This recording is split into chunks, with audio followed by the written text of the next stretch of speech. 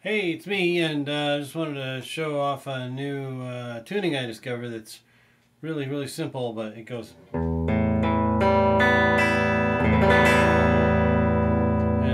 how you can do that is. Uh,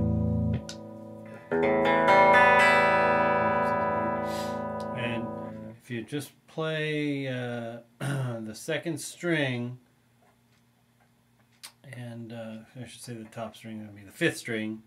Uh, with the on the second fret, it'll be an E minor.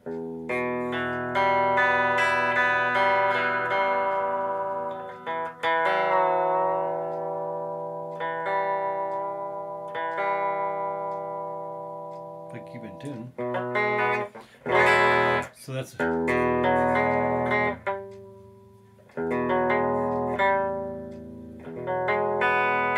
So when you play an E, it sounds like that.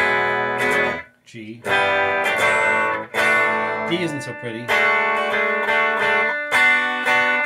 You can play around with it. Minors are real almost the same. A little bit of twist.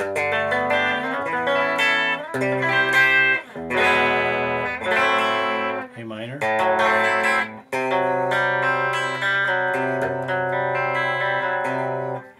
Different sound for sure. I was doing this thing, it was like, um,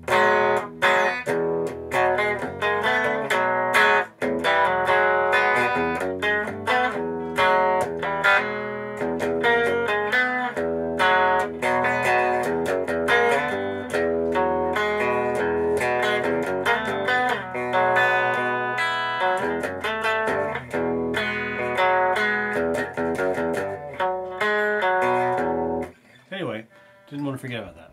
See ya.